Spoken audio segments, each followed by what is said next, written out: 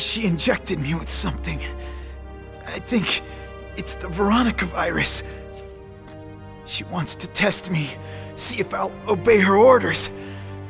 Claire, she wants me to kill you. Steve! I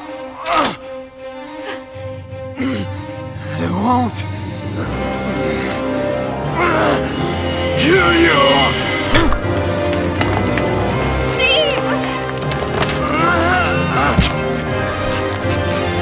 Ah!